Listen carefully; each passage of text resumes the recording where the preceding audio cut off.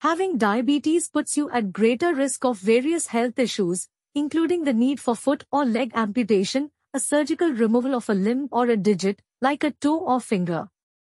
By effectively managing your condition and consistently safeguarding and examining your feet daily, you can significantly reduce these risks.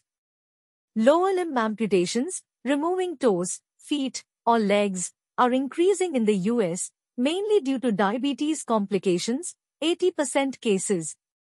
From 2009 to 2019, diabetes-related hospitalizations for amputation doubled.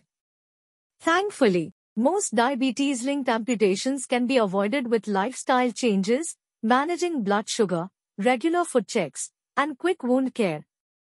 Diabetes can lead to amputation by causing complications over time. 1. Peripheral arterial disease, PAD, narrows leg and foot blood vessels, slowing or preventing healing of even minor cuts. 2. Nerve damage reduces sensation, making it hard to notice cuts or sores on feet. Even small cuts can turn severe due to these issues. Depending on the severity, doctors may suggest cleaning wounds, restoring blood flow through surgery, antibiotics for infections, or amputation. Prioritizing care can greatly lower amputation risks.